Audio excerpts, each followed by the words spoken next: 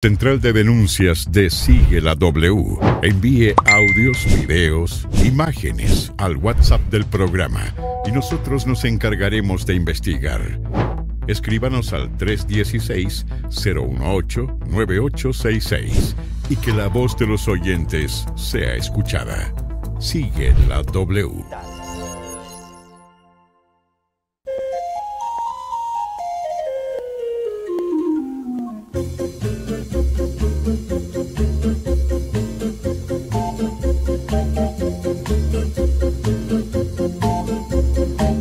Así es, porque aunque estamos en Colombia, no en las praderas del África, aquí hay elefantes y muchos elefantes blancos. Este que les vamos a presentar llegó a través de nuestra central de denuncias, el 316-018-9866. El eh, teléfono, o más bien el número WhatsApp a través del cual usted nos puede enviar fácilmente las imágenes, los videos, las historias de sus denuncias. En este caso, un embrión de elefante blanco al que Mauricio Beltrán le ha querido hacer una pequeña, eh, ponerle la lupa más bien, por no decir que ponerle el microscopio. Sí, señor, y es que es un parque que debería estar ya al servicio de la ciudadanía, pero todavía no lo está. Nos vamos al municipio de Palmira, esto es en el eh, departamento del Valle del Cauca.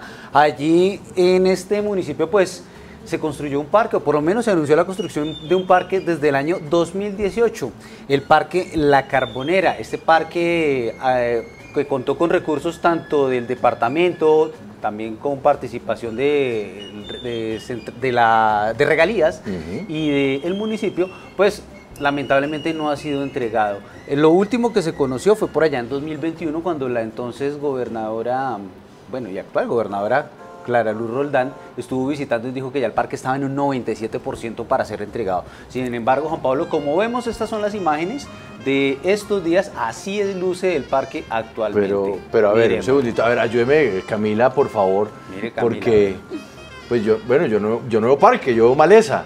Sí. ¿No? Por ahí sale el elefante. Pues sí, no tiene mucha cara de, parque. Pero ¿eso es ¿el parque debería estar dentro del cerramiento o es, es, que no entiendo muy bien, Mauricio? Claro. ¿Dónde debería estar el parque? El parque debería estar al otro lado del cerramiento. ¿Y, qué hay al otro lado? Eh, todavía hay horas. Mm. Hay obras, hay unas mm. que ya están terminadas. Cuando la gobernadora fue a hacer la visita, pues ya se, mm, por lo menos se mostraba un gran avance, pero eh, ha habido una serie de inconvenientes y todavía la comunidad no recibe el parque. Como usted bien lo dice, está lleno de maleza, el pasto está altísimo, eh, incluso necesita mantenimiento algunos árboles, eh, la poda del mm. pasto. Todo esto que requiere el, para que sea un parque funcional y puesto a la comunidad. Mira, del fondo se ven ya por lo menos algunas de las estructuras del parque. Pero, pero, ah, eso es como un tobogán. Es como un tobogán, exacto. Como un tobogán. Como un tobogán. Y mire, también la, la vía está, el, acceso está imposible. No, pues está, por hacer. Sí, está, está abandonado. O sea, no ¿Cómo se llama el parque o cómo se iba a llamar? La Carbonera. Parque La Carbonera. ¿Y en qué año lo debían entregar? Recuérdeme entonces, Mauricio. El parque debían entregarlo en el 2000, de darle preciso, pero estoy eh, casi seguro, 2019. Uy, ah, no, Porque arrancó en el 2018 y, pero con todo y la pandemia hubo demoras y... Claro, eso corrió un poco, las, fechas. Pues vamos entonces con sus invitados para entender más de esta historia. Sí, señor, pues quien nos hizo la denuncia de nuestra línea de Sigue la W 316-018-9866 fue el señor Juan Esteban Ledesma. Eh, le damos la bienvenida, Juan Esteban, bienvenido a Sigue la W. Usted eh, nos manifestó su preocupación porque es un vecino allí de este parque y definitivamente ustedes no ven la hora de que sea entregado. ¿Qué les han dicho eh, por parte de la administración distrital o de la gobernación de este parque, de este proyecto, esta obra que tiene lo que vemos son pasos de un elefante blanco? Pues la verdad no han dicho nada, la verdad, hasta la fecha. Hasta la fecha no han dicho nada, la verdad, porque eh, el señor, desde que comenzó el alcalde, pues se han venido mencionando cosas y la verdad los muchos palmiranos, palmiranos pues, mencionábamos que iba a mejorar las cosas como estaba porque eh, ya se mencionaba hasta una petar, la cual nunca, nunca se mencionó y la cual eh, pues el alcalde se encuentra en las demandas, la verdad no sabemos hasta la fecha cómo se encuentra, como pueden ver pues en el caso del, del parque pues se encuentran las mismas, aunque ya se, ya se encuentra un avance pues, significativo Y como pueden ver, pues las calles, la verdad, pues a la entrada de la Universidad del Valle se encuentran deplorables. Es tanto que primero se entregó el, el bloque que se había prometido en expansión a la Univalle y la cual pues que normalmente se pues, debía una demora en la Univalle, pero la verdad hasta la fecha no se ha entregado nada. el día que tomé las fotos, nada más se entregaron lo que eran eh, vigilantes y una persona no sé qué lo que hacía, si era mantenimiento, cortar pasto, no sé la verdad que hasta, hasta la fecha que, hace, que se hace, pero como pueden ver se ve maleza, lo que tiene que ver, eh, pues no se ha terminado de construir tampoco, ni el, el paso peatonal, la cual se presta para inseguridad, y pues y para este año pues se pretende que ese paso sea para eh, que los camiones, las, las tractomulas tengan un paso por allí, lo mismo también se desean los, los buses porque se va a intervenir futuramente lo que es la Versalles, la glorieta de la Versalles a través de la ANI, entonces es algo pues que se, se nota pues que están prácticamente en olvido.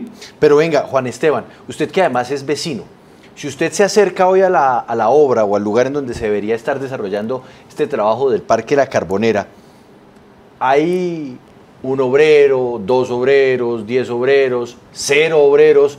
¿Cuál es hoy la realidad o, por lo menos lo que usted ha visto a lo largo de este primer mes del año 2023? Yo no sé, eh, no sé mucho. Hace 20, media hora estuve por ese mismo sector y la verdad, ni una, ni una maquinaria, no se ve nada, la verdad, ningún obrero, lo único que se ve es un vigilante, la verdad, que se encuentran bajo techo y la verdad no se sabe qué. Si ustedes eh, pueden visitar el lugar, se va a encontrar en el mismo estado que se encuentran en las fotos y en los videos. Por allí ha pasado el alcalde, la gobernadora Clara Luz Roldán, diferentes funcionarios y han dicho, ya vamos a entregarlos.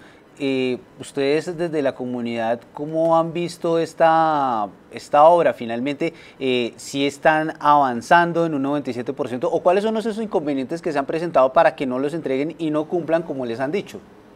Pues la verdad, hasta el momento el 97% pues se quedó un 97%, yo creo que eso, pues hasta el momento pues un 97% no sé para ellos que sea, la verdad, porque les hace, como pueden ver, les hace falta eh, las vías de acceso, les hace falta eh, también el acceso peatonal. La verdad, no se ve por dónde uno iba a ingresar, o sea, por algunos alrededores, todo me pregunto por dónde se piensan que las personas ingresen. Pues la verdad, hasta el momento se ve eso, maleza y pues eh, lo que son las vías peatonales se encuentran abandonadas. ¿Y cuándo se la de, esta hora cuándo se debía entregar? Eh, se supone que el alcalde que, y tanto la, la, gobernadora iban a entregar eso en el año 2021. Se entiende que había, pues iba a correr y se esperaba que el, el año pasado pues se, hiciera algo y se entregara, pero pues nada, no, no han hecho pronunciamiento, solamente se han hecho obras en cuanto a lo que tiene que ver rural, pues que se les agradece al, señor alcalde eh, lo que tiene que ver con, las, con los tapar, tapar huecos, que es otra cosa que la verdad... Eh, se duda mucho, la verdad, de la calidad de, tapar huecos, porque la verdad, pues, eh, tapan en unos meses y a los siguientes meses, cuando comienzan nuevamente las lluvias, vuelven y se destapan. Esteban, justamente nos acompaña también el alcalde de Palmira, Óscar Escobar. Alcalde, bienvenido a Sigue la W. Ya mm, eh, nos decía Juan Esteban la situación que se está presentando con esta obra, eh, incluso con las vías de acceso que están imposibles, se está prestando para inseguridad. Este parque... Pues, este, está viendo Mauricio un comentario en el YouTube Live que dicen que esa zona es calentura. Imagínese. Tremenda calentura, dicen por acá. Alcalde, ¿Cuándo se va a entregar esta obra? Y bueno, usted eh, nos puede decir de quién es la responsabilidad total, si de la alcaldía, si de la gobernación o definitivamente quién es el que debe responder por esta entrega que se está esperando ya desde hace bastante tiempo. Bueno, muy buenas tardes a todos, al equipo de la W, a Juan Esteban, a Juan Carlos, a la comunidad que nos ve hasta ahora. Mira, eh, Juan Esteban decía al principio una cosa que es cierta y es que cuando recién arrancamos la alcaldía nos encontramos con una serie de situaciones de obras que estaban en curso y que no se sabía muy bien qué iba a pasar. Eh, una de ellas es la mencionó, que fue la planta de tratamiento de aguas residuales, 114 mil millones de pesos, es la obra más grande que ha contratado Palmira, eh, 15 mil millones de pesos de anticipo. Nosotros tuvimos que hacer todos los productos hasta caducar el contrato. De hecho, esta firma era una que tenía una vaina montada que era como unos mini nules, tenían una vaina montada en Chocó, otra en Bogotá y en todos lados se les caducaron los contratos y al día de hoy seguimos trabajando en la reestructuración para poder volver a sacar ese contrato con la, con la corporación ambiental. Hay otros contratos que encontramos en, eh, que estaban obras paradas, pero que pudimos sacar adelante. Por ejemplo, el Megacolegio del Sur. Esa era, un, esa era una obra que estaba contratada con diseños por lo menos del 2015, contratado con, el, con cofinanciación del Gobierno Nacional desde el 2016 y que se logró que se iniciara ahora en 2020. Yo vi el colegio, de hecho, es el primer día que alcalde, Palmira, pero, pero está teniendo a mil concretamente, niños en la ciudad. pero concretamente el parque, alcalde, ya, sí, o sea, Sí, hay muchas horas, pero bueno, pena. hablemos concretamente del parque, Iba- no, que yo- que iba a mencionar uno que salió mal, uno que salió bien. Este parque es uno que va saliendo, pero no ha salido, ¿sí? Como lo dice el mismo Juan Esteban. ¿En qué sentido? Eh, tal vez la primera cosa que nos encontramos y, y en la primera reunión que tuvimos que vernos con Juan Carlos, que está aquí de la gobernación, tuvo que ver con el tema de las redes del parque. Fue la, la principal situación que nosotros encontramos en el año 2020, ¿sí? Ahí fue necesario realizar, digamos, unos ajustes al diseño como se había realizado, sentar a la empresa de prestación de acueductos, sentar a la gobernación y realizar el tema. Hay que decir otra cosa, además. Para la construcción de este parque, el municipio se había comprometido en 2019 a poner 3 mil millones de pesos y el predio, la verdad solo puso 200 algo, 400 millones y el predio, y cuando nosotros llegamos también nos dijeron, vea, ¿dónde están los 2.500 millones faltantes? El municipio estaba en un déficit de tesorería, nosotros no pudimos aportar esos recursos y hay que, digamos, decir que la gobernadora aportó todos los recursos faltantes para que la obra no se quedara parada y no se quedara como un elefante blanco, que es la preocupación. Yo la última información que tengo de la última reunión que tuvimos con Juan Carlos y el equipo en ese momento con el gerente de Invervalle, que son quienes contratan, hacen el contrato, es que se habían robado un tema de conexión eléctrica y había que volver a traer todo ese tema desde China y eso iba a demorar varios meses. Nosotros en el mes de septiembre enviamos un oficio a la entonces directora, recién nombrada directora de Invervalle, eh, manifestándole, digamos, las inquietudes que teníamos sobre la obra eh, en las visitas que hemos hecho eh, a lo cual se nos respondió en octubre, pues que nada más entregaran, hacíamos la mesa y nos respondían todo.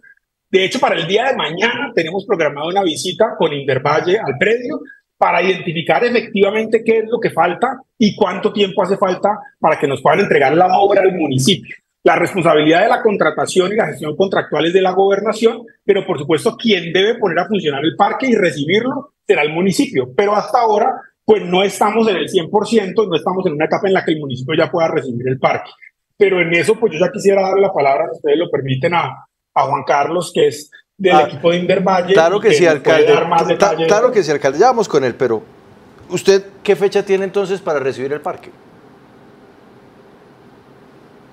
Mire, y en esto, digamos, Juan Esteban tiene la razón. De eso hemos venido hablando hace mucho tiempo. De hecho, hace un año y un mes, en diciembre del 2021, la gobernadora nos visitó, visitamos la obra. Y la gobernadora me dijo, alcalde, usted tiene que hacer, eh, me olvida el nombre, el paisajismo, vaya listando la plaza porque yo ya le voy a entregar el parque. Entonces, todo el año pasado nosotros estuvimos como, como en esa expectativa de que el parque ya estaba listo y se han presentado otros inconvenientes que son de los que nos puede hablar la gobernación, que no han permitido que se entregue. Pero sin duda que la expectativa era tener el parque entregado y funcionando el año pasado.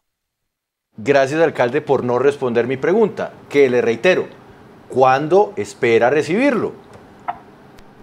Este año, sin duda, yo, yo estoy a espera de lo que nos pueda decir la gobernación. Yo como alcalde y mi equipo, nosotros no podemos recibir un parque que no está al 100% porque en ese momento el municipio se hace responsable entonces del mantenimiento y de la operación de unos bienes que no estén al 100%. Así que esa ha sido nuestra posición. Pero es que usted no deja de ser el alcalde de Palmira y uno esperaría que el alcalde de Palmira sepa cuándo le van a entregar algo a Palmira. Usted no tiene fecha entonces. Usted nos dice este año, pero este año le quedan 11 meses. Así es, por eso el día de mañana te digo que tenemos una visita que se iba a hacer el mes pasado, pero no se pudo concretar para poder nosotros ver con nuestros propios ojos las observaciones que enviamos en el oficio de septiembre y determinar entonces cuál es la fecha probable de entrega, que en cualquier caso depende solo de la gobernación y del contratista que tienen para sábado. Depende de la señor gobernación, Juan. Pablo, y nosotros pues también buscamos obviamente a la gobernación. Ellos nos mm, remitieron a Inder Valle, que son los responsables de esta obra, y por eso está con nosotros el arquitecto Juan Carlos Rueda, quien es el supervisor de este proyecto. Arquitecto, bienvenido a Sigue la W. Tenemos fecha de entrega de este parque al alcalde para que por fin los ciudadanos de Palmira puedan tener el Parque la, Carbonera en funcionamiento? Mauricio, muy buenas tardes. Un saludo también a Juan Esteban, al señor alcalde de Palmira, el doctor Oscar Escobar, y a todas las personas que acompañan la mesa en la W y que nos están escuchando también eh, con este tema que es bastante importante y que nos ha ocupado bastante también en, en Indervalle. Y lo primero que tengo que decir es que lo que está diciendo el alcalde de Palmira es totalmente cierto. Nosotros hemos tenido un acompañamiento de la alcaldía de Palmira desde el primer día que ellos llegaron en esta administración, preocupados por la entrega de este parque, por la terminación de la obra. Esto, Mauricio, voy a contextualizar. Las imágenes que ven son imágenes de la parte externa de la avenida La Carbonera. Ahora me gustaría que me permitiera mostrar unas imágenes de la parte interna del estado del parque. Concretamente, quiero contarles que este es un parque de más de 20 mil metros cuadrados está conformado por nueve edificios y nueve campos deportivos. Entre los campos deportivos incluyen cuatro piscinas. Tiene las cuatro piscinas, una cancha de fútbol sintética con pista atlética, con iluminación, tres placas polideportivas, dos para, para varios deportes, una para tenis, una segunda placa, una cuarta placa, perdón, cubierta, que sirve como, como sitio arquitecto, para la arquitecto, Arquitecto, eh, concentrémonos por favor en el tema periodístico. La parte ya de eh, lo que tiene el parque, ojalá lo puedan disfrutar algún día los palmireños y los vallecaucanos. Y ojalá algún día lo inauguren porque claramente eso no pasó en eh, el año 2021 cuando debería haberse dado, ni tampoco en el 2022. Arrancamos el 2023. ¿Usted nos puede decir cuándo van a abrir el parque? Lo primero, Mauricio, y es contarles que el parque está terminado como obra. Los nueve edificios y los nueve campos deportivos están terminados, están listos. Por eso les pedía que me permitieran mostrar imágenes que son de, del día viernes eh, además de estar terminado, él tenía, él tuvo un tema, las conexiones hidrosanitarias, la parte de acueducto alcantarillado y la conexión de energía. En eso nos ocupamos casi un año porque una vez la obra muy avanzada, comenzamos los procesos, los procesos de conexión con las empresas de servicios públicos, en este caso Aqua Occidente y, y Celsia, y ese proceso a pesar de que el parque lo tenemos concluido desde febrero del año pasado, es el que se ha demorado mucho por diferentes causas. Una la mencionaba el alcalde, nos robaron eh, el medidor de aguas, tuvimos que reponerlo, se perdió el cable, eh, nos robaron el cable que eh, hace toda la cometida desde la parte externa hasta la, hasta la unidad que maneja toda la energía del parque. Tuvimos que reponer el cable, lo hizo el contratista eh, a costo suyo. De esto hay demandas de la Fiscalía por, por ambos robos. Finalmente ya está conectado a acueducto, está conectado al alcantarillado, se terminaron las curas de energía y estamos simplemente a la espera de que nos entreguen certificación REPIE, es la que permite que Celsia haga la conexión y que se haga la conexión de Celsia. Arquitecto, ¿y por qué se presentó este robo? Es decir, aquí la seguridad estaba a cargo de quién, de la alcaldía, de Indervalle, y pues no se hubiera presentado el, robo si ustedes hubieran hecho todo a tiempo, hubieran entregado las obras. Eh, ahora estamos en un problema mayor, o sea, toca volver a comprar todos estos elementos, va a tener un sobrecosto el parque y así sucesivamente va a seguir quién sabe hasta cuándo y los palmireños de verdad definitivamente no van a tener en funcionamiento el Parque Las Carboneras, la Carbonera. sumado a esto quiero también mencionar, eh, señor Juan Carlos, que Venga, alcalde, le voy a pedir un alcalde, alcalde, alcalde, le voy a pedir un favor. Eh, esto lo responde el arquitecto porque es que en realidad hay que darle orden a la entrevista. Le pido, por favor, que respete también el orden de las preguntas que estamos haciendo aquí.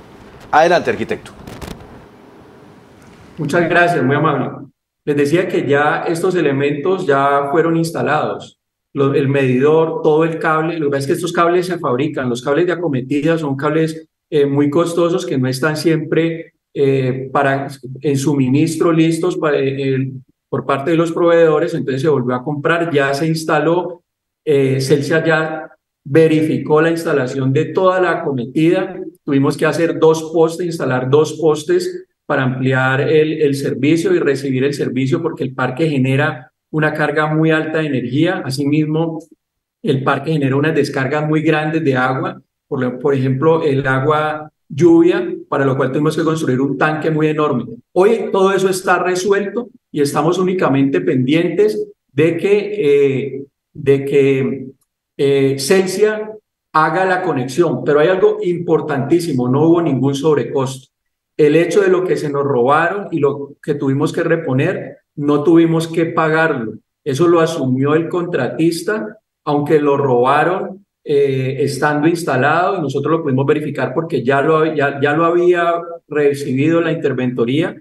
El contratista, muy consciente de que lo habían hecho sin que él eh, hubiera hecho ya la entrega al municipio, eh, el contratista volvió a instalar el cableado, volvió a instalar el, el, medidor de agua y colocamos obviamente una vigilancia y en eso nos ayudó la alcaldía que desde agosto del año pasado, por una solicitud que hicimos, un trabajo en conjunto, colocaron vigilancia extra y hoy contamos con vigilancia privada por parte de la alcaldía y los vigilantes que todavía están de parte del contratista mientras se hace el recibo de obra. Nosotros esperamos estar haciendo la conexión en este mes de febrero y, empezar la entrega con el municipio.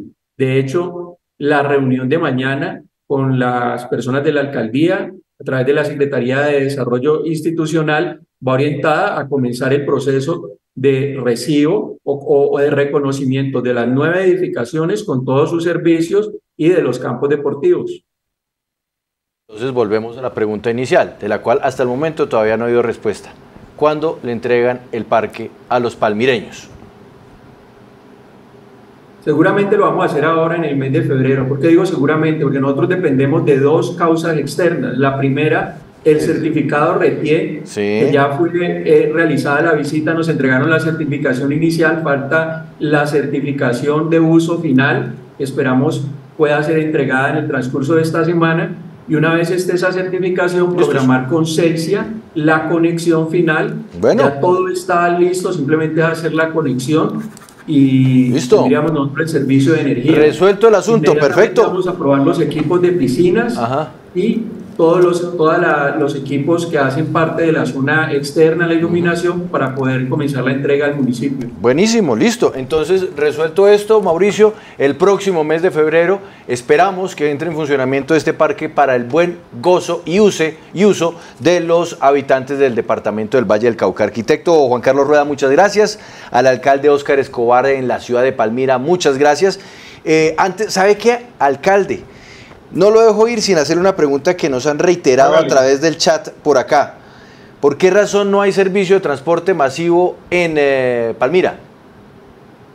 Dos cositas entonces breve. Eh, Juan Carlos dice, la gobernación le entrega el parque a la alcaldía en febrero. Ajá. Una vez nosotros recibamos eso, nosotros tenemos que hacer un contrato de operación, porque como lo ha descrito Juan Carlos, este es un Mm. parque grandísimo que tiene piscinas, que tiene toboganes, y si no se pone a operar de forma correcta, pues muy rápidamente vamos a tener problemas incluso en el sostenimiento. Para los palmiranos que nos escuchan, eso es como un parque del azúcar, pero de hecho más grande. Entonces va a necesitar una entidad privada o mixta que lo opere y nosotros un poco por eso enviábamos el ejercicio de septiembre para ir aclarando nuestras dudas y para tener claro eh, cómo va a ser la Entonces- operación. Esto entonces- entonces que le pongo- las expectativas entonces le que pongo si un asterisco. la gobernación en febrero, Ajá. La operación del parque, por supuesto, pues yo no me quiero ir de la alcaldía sin entregar el parque. La operación quedaría para el segundo semestre hasta que nosotros podamos tener ese contrato, que Ah. seguramente será una licitación pública Buenísimo. para definir quién va a operar el parque. Buenísimo, alcalde, porque entonces eso significa que la entrada en operación del parque será justo en paralelo con la competencia electoral Y la ley de a la garantías. alcaldía de la gobernación. Y ley de garantías. Eso- eh, sí, pero bueno, la ley de garantías es otra historia. Eso será maravilloso para hacer campaña. Pero bueno, alcalde, y el, y el transporte público en Palmira, ¿por qué razón los habitantes de esa ciudad no están contentos? Y sobre todo, ¿cuál es la explicación para que no haya soluciones? Mira, hay un tema de fondo que sufrimos en las ciudades intermedias que tiene que ver con la carencia efectivamente del sistema de transporte público. El gobierno nacional le ha dado a las capitales, en la, en la penúltima reforma tributaria le dieron a las capitales un billón de pesos para los sistemas de transporte masivo. Pero además en ese tipo de proyectos, como lo que se está discutiendo ahora el Metro de Bogotá, la nación pone el 70% de la plata y el municipio solo el 30%. Y eso que ahora con la con esa discusión del metro eh, subterráneo, el presidente va a poner toda la plata que hace falta. A lo, que, a lo que nos pasa en las ciudades intermedias, como a Palmira, como a Florida Blanca, como a Río Negro, es que a pesar de que somos más grandes que muchas capitales del país, nadie nos ayuda con eso. Si no hay un peso del gobierno nacional en los sistemas de transporte masivo. En Palmira había unas rutas de sistemas de transporte público, pero operados por empresas privadas, como en la mayor parte del país, que venían moviendo 5.000 pasajeros día en 2019, 3.300 cuando llegamos a la alcaldía y que la pandemia realmente les terminó de afectar mucho económicamente. Nosotros hemos realizado meses de trabajo con ellos y hemos logrado, digamos, reactivar algunas rutas como la que va al barrio Juan Pablo II, pero esa zona donde está el parque, Zamorano y esa zona de la Comuna 1, efectivamente es una de las donde tenemos la mayor dificultad hoy y donde sin duda lo que preocupa es que lo que empieza a reinar es el transporte ilegal. Para combatir eso estructuralmente, la administración está proponiendo realizar la terminal de transporte que Palmira ha necesitado durante tanto tiempo. Para eso tenemos 20 mil millones que logramos conseguir de la concesión del aeropuerto bajo la modificación de una ley en la última tributaria y le vamos a proponer al Consejo Municipal, de hecho la próxima semana, eh, un cupo de endeudamiento de 50 mil millones de pesos para realizar dos infraestructuras de transporte que nos permitan servir como terminal y como estación, que nos permitan servirle a futuro al tren de cercanías del Valle y que nos permitan tener la infraestructura para reactivar el transporte público en la ciudad.